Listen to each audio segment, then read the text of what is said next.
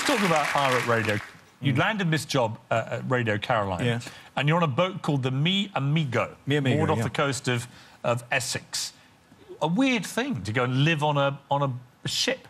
Um, I read the advert and I got the job, and I, uh, I remember going out from Harwich because what we were doing, it was in territorial waters. It flew under the flag of Panama, and uh, we, the, we, we went through customs, and the idea was we were going to Holland. But for three years, we never got there. We stopped off on the way and played music. And uh, I remember seeing this little ship bobbing around in the ocean. I thought, God, this is wonderful. And um, I thought, this ship is giving the government so many problems. And, uh, And it was. It was kind of it was, anarchic yes. and it was, It was, yeah. dangerous and exciting. Yeah. Everyone loved it, didn't they? It was the most wonderful experience of my life. It was uh, just tremendous. And I knew right from the word go that this was going to alter the whole of broadcasting. Now, is it true that, that when you were on this ship, that you actually saved Kenny Everett's life? Uh, when I was on Big L Radio London, yes. I came up to do the breakfast show, and we had it, it was it was like a gangway where the tender boat would go, and we would cross from one boat to the other. And Kenny was there in a slight dazed look, and he was he's obviously on something, and he was he was just about to step over. You'd taken drugs. Yeah, I guess he had, Yeah. yeah.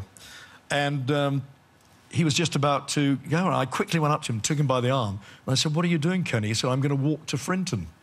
I said, No, no, you're not. And I, I took him to one side and, and I put him in his cabin and told somebody he was in there. So And if you he- hadn't done that, he'd have, he'd have died, yeah, because, um, because the currents out in the North Sea, you know, had just been swept away. you also had a career as a pop star. Yeah. According to your friend, uh, the DJ Mike Read, in the early days you were known as Bournemouth's answer to Cliff Richard. we actually have an audio clip of you in your heyday doing Yeah. this. Yeah. I've got so much love I wanna give you. Baby, I've got so much love I wanna give you.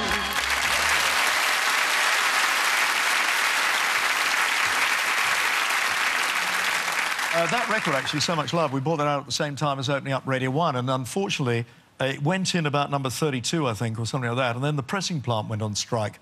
And uh, I don't know if it's to do with the record, but uh, and uh, I think it would have gone to number one, not because the record was great, but, but it- there was so much publicity at the time. Do you feel like this terrible, thwarted sense of what might have been? No, no, no. I mean, I wasn't the greatest singer in the world, but I, I, I didn't give up. I made another 28 records.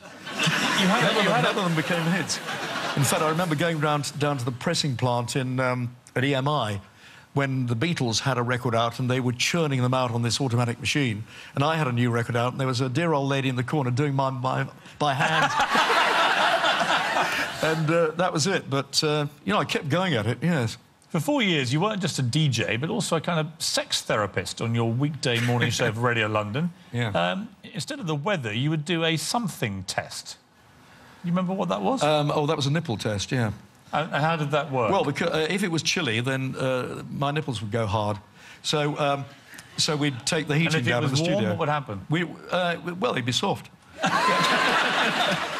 How's the temperature in here at the moment? Um, bit chilly.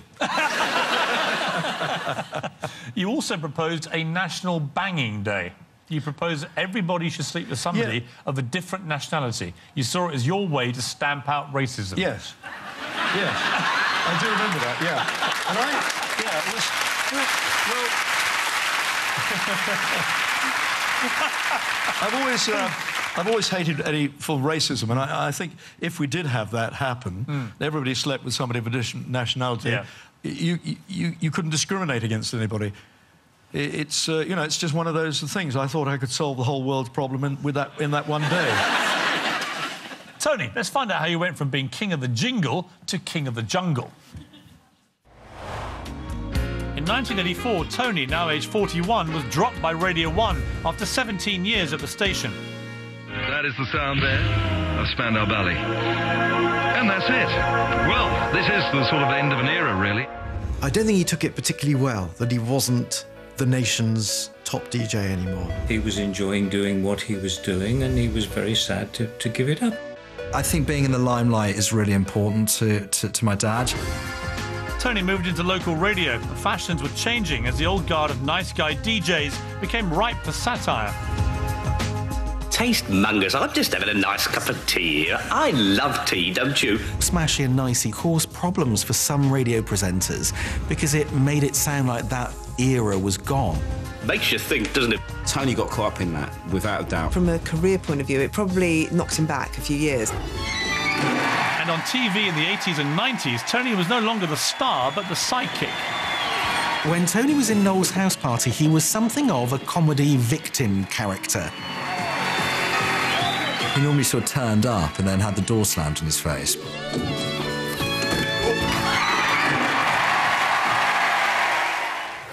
Tony also launched a reinvention as a raunchy nightclub DJ.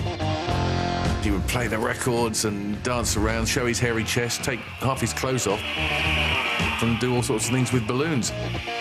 In his heart of hearts, I think he would have hated that time. He was a bit lost. He was sort of in the wilderness. Tony Blackburn is good at what he does, and he deserves a huge audience. He knows that. In 2002, when Tony was 59, he signed up to the cast of a brand new celebrity reality show set in the Australian jungle.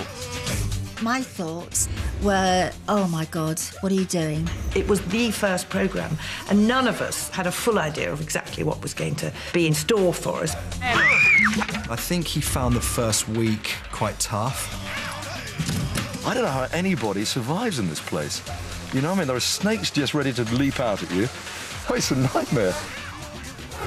But Tony found an unlikely source of comfort. Tony, of course, became completely and utterly obsessed by logs. Do you mind if I go and get another couple of logs?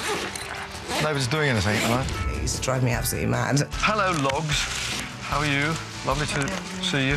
See, that's what I call my daytime log. But it clearly endeared him to all the viewers. He had his naturalness and warmth that the audience warmed to.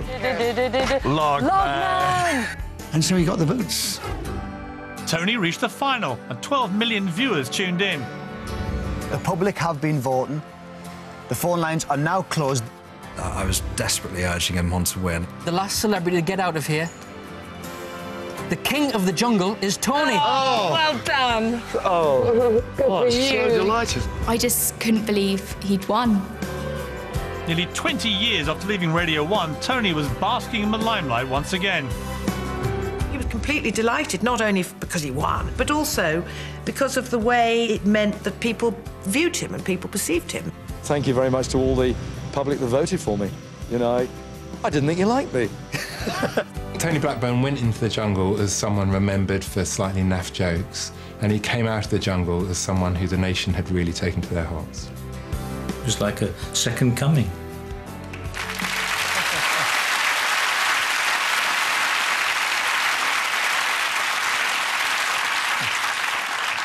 You said about it that before that show, I felt I was more of a British irritant than a national Mm. treasure. How did the, the moment you knew you'd won, how did it make you feel? Well, I thought it was just tremendous. You know, I didn't think for one moment. I mean, I loved, I loved doing the program. I thought it was terrific, and I did love the logs, and I recognised one or two of them as well. um, no, I mean, it was, it was terribly flattering. You know, I, I had no idea I'd win it, and uh, to win something like that is tremendous. I really wanted to do it because I thought it was the first one, so we didn't know what it was all about. And I'm a vegetarian, and I wouldn't kill anything or anything like that. And um, they said to me, "He said, well, are you? Do you like outdoor life?" I said, "Not particularly." And they said, uh, "Well, what would you eat there if you're a vegetarian in the jungle?" I said, "Well, presumably we do the filming during the day and go back to a hotel in the evening." Because uh, I, I, I had no idea. And they said, "Oh no, no, you've got to survive out there, and it's a really tough program to do." Did you think you could also change uh, an increasing public perception, perhaps from all the smashy and nicey thing, Yeah. that you were by then a bit of a joke, that you could actually realign that? honestly, I promise you, Piers, I'd never thought of it like that at all. And I never thought of myself as being a joke either. But, I, uh, but I know what you mean. I know exactly what you mean.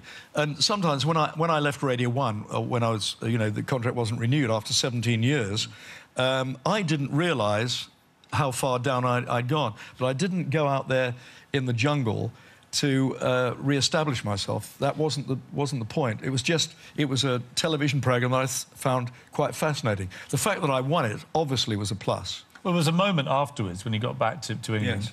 and you were stopped by an elderly man at a Yes. petrol station who congratulated you, but it was what he said moved you very much, didn't Well, it did, yes. This dear old bloke, it must have been about 82 or something, came to me with, on, on the sticks and he put his arm around me and said, You've done so much for our age group. but